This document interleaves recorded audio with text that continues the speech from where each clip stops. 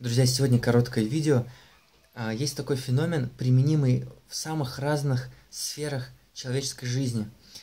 И его можно применить и к нашей с вами христианской жизни тоже, хотя впервые там о нем заговорили, наверное, психологи. То, что человек начинает, когда у него есть какая-то проблема, он начинает слушать специалистов. Он читает книги, он смотрит видео в интернете, он слушает лекции там часовые, двухчасовые, трехчасовые.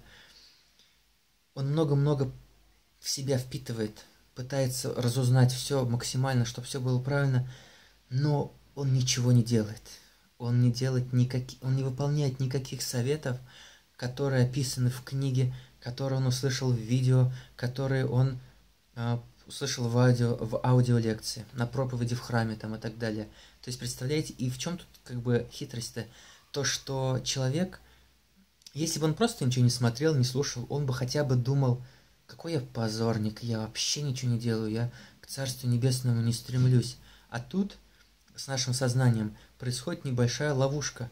И мы послушали два часа лекцию, и нам показалось, так, я уже вот узнал вот это то, я уже приблизился к, ну, к, тому, к своей цели.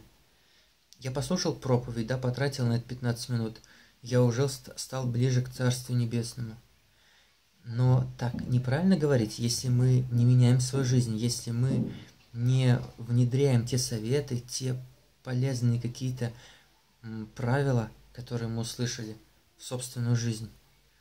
Вот давайте подумаем, каждый про себя, не являемся ли мы такими самоуспокоенными потребителями православных проповедей, которые много смотрят, много слушают, но ничего не делают. Мне кажется, это с той или иной степенью можно отнести к каждому из нас. Давайте делать так, как положено. Если мы читаем книгу, то читать ее с карандашом в руках, а с блокнотиком, выписывать все практические моменты и все важные э, мысли, которые мы в ней прочитали.